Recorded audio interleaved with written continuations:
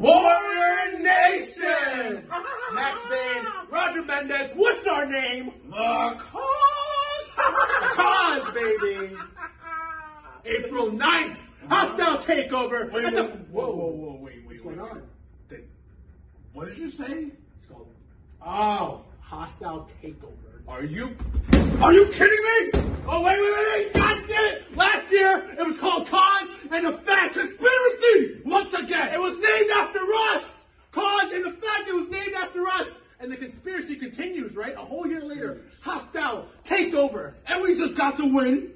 You know what? I'll try to be optimistic. Because you know what? A hostile takeover is exactly what we're doing to the tag team division. We are invading harder than Russia is invading the Ukraine. Oh, And on April 9th, at the Fun Station Dimmadome, brother, the cause goes up against Jimmy Wang Yang and his daughter Jazzy Yang. Yes, you heard it here first. Yeah. Jimmy Wang Yang, former World Wrestling Entertainment superstar.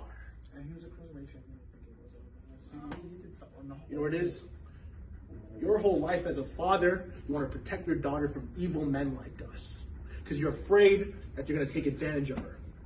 That's exactly what we plan on doing. We're going to take advantage of her inexperience. We're going to take advantage of the fact that she is a rookie. And Jimmy, you will be in the corner helpless, watching your daughter get humiliated in the middle of the ring. You go up against the cause, and Jimmy asks for you.